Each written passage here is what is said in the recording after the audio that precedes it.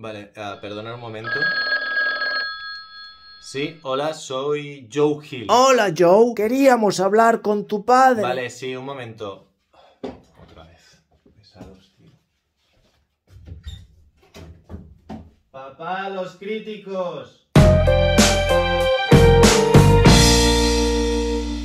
Hola, ¿qué tal? Soy Iván F. Mula, periodista cultural, y en este vídeo os voy a hablar de Black Phone, la película de terror de moda de estas semanas que está causando bastante sensación en la audiencia. Una película que está aparentemente cautivando y que se puede acabar convirtiendo en una de las sorpresas de la primera eh, semana del año. En este vídeo os voy a decir mis impresiones sobre la película y mi comentario en base a ver si realmente es tan buena. En una ciudad de Colorado en los años 70, un enmascarado secuestra a Finny Shaw, un chico tímido e inteligente de 13 años, y le encierra en un sótano insonorizado donde de nada sirven sus gritos. Cuando un teléfono roto y sin conexión empieza a sonar, Finney descubre que a través de él puede oír las voces de las anteriores víctimas, las cuales están decididas a impedir que Finney acabe igual que ellas. Había escuchado buenos comentarios sobre esta película, así que fui a verla con bastantes expectativas y la verdad es que me ha gustado mucho en el sentido de que es una película eh, coherente, que funciona bien,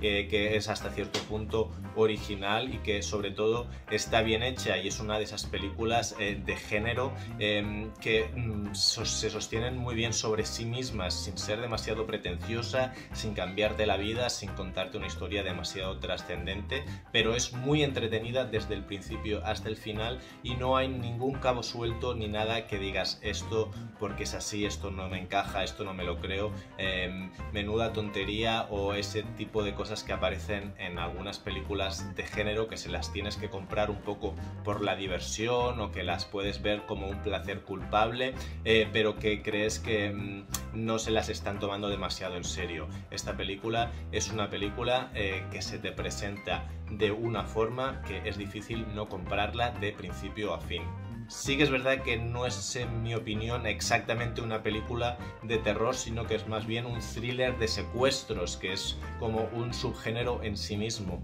en el que sí que hay elementos del cine de terror o del fantástico. Eh, eso creo que em, combina muy bien en esta película, pero sí que más allá de algunos jump scares, que sinceramente la película en realidad no necesita y que están ahí para hacerla un poquito más comercial, eh, mucha gente que tenga muchas ganas de pasar miedo, a lo mejor con esta película eh, no es lo que van a encontrar, sino que es una película más de tensión. Para los que no lo sepan, la película está basada en una historia de Joe Hill, que es el hijo de Stephen King, y un poco eh, asumiendo, eh, como prácticamente está sucediendo en muchas de sus obras, la herencia de su padre. En esta película hay muchos elementos de la literatura de Stephen King, los niños, eh, más o menos eh, la época, este punto eh, malsano, truculento de el terror que puede sentir un niño que no vive en una ciudad, las amenazas de, esto, de este psicópata, ¿no? que podría recordarnos un poco a It, incluso ese punto de elemento sobrenatural o de niños con poderes mentales o espirituales o como lo queramos llamar. También está el alcoholismo, los padres ausentes, em, las pérdidas familiares, el bullying, en definitiva, una película eh, muy del rollo de Stephen King, así que si, sois fans de Stephen King es posible que conectéis muy bien con la historia, a pesar de que es una historia de su hijo, no de él. Tenemos aquí un villano bastante solvente, interpretado por Ethan Hawke, que es un tío que me cae muy bien y creo que siempre eh, sabe darnos buenas interpretaciones. Aquí está un poco en un registro nuevo y creo que eh, cumple muy bien. Y este villano, que quizás no es del todo icónico, pero creo que funciona, eh, tiene algo que me parece interesante, que es que no eclipsa al verdadero protagonista de la historia. me parece que es importante que aquí el niño, como en una película de terror en la que hay una eh, Scream Queen eh, es el que eh, lleva el corazón de la historia y estás con él en todo momento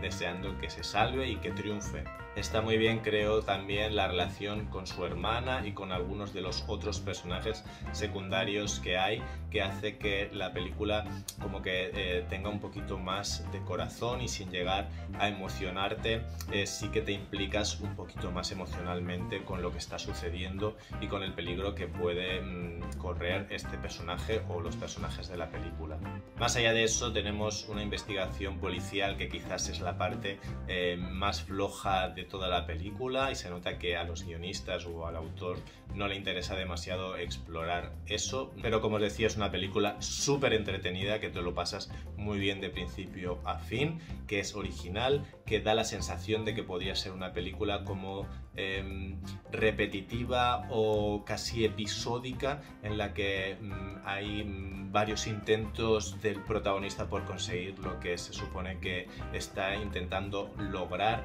y que no acaba de lograr y sin embargo poco a poco te vas dando cuenta como que cada cosa que hace tiene sentido y que después eh, de una forma em, bastante perfecta va a recoger la historia al final hasta darle una redondez que a veces no es tan habitual en este tipo de películas. Y además teniendo en cuenta que el protagonista es muy carismático y es muy fácil empatizar con él y quererle un montón, a esta película le voy a dar un 7. Y esto es todo por mi parte, ahora os toca a vosotros, por favor me gustaría mucho saber vuestra opinión, por favor dejadme un comentario aquí debajo en el canal de YouTube o escribirme por mis redes sociales, sabéis que estoy en Facebook, en Twitter o en Instagram. Decidme lo que os ha parecido la película, si os gusta el universo de Stephen King, si conocíais la figura de Joe Hill, el hijo de Stephen King, y algunas de sus novelas o historias en,